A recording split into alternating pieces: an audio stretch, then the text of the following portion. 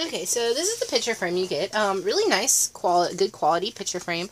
I love how it has this beautiful design that um, wraps around the um, border of the frame. Um, this has sort of like a shadow box effect, um, but it isn't. It's actually like deep in. The glass isn't up front. Um, but really nice quality. Very, it's got a lot of weight to it. Shows that how heavy duty and how good quality it is. You have the option to set this up like I had it like this. You can set it vertically or horizontally. You can also have the option to hang it vertically or horizontally. Um, really good quality. I really enjoyed this frame. It's really beautiful and I like it so far.